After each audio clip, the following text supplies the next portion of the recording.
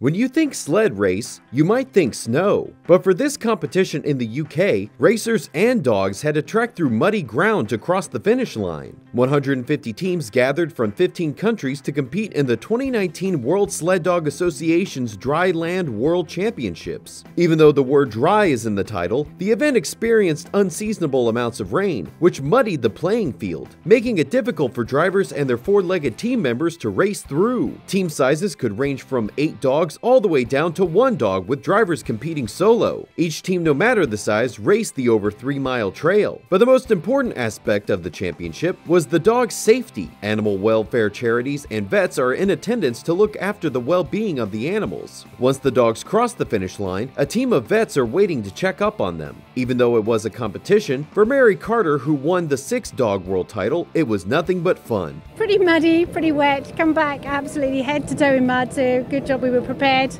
bought plenty of changes of clothes.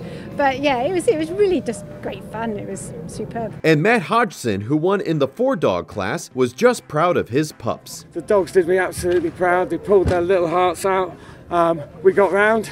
Um, over the moon, I'm overwhelmed. Um, yeah, something I've worked for, out for many, many years, and I'm feeling very emotional right now.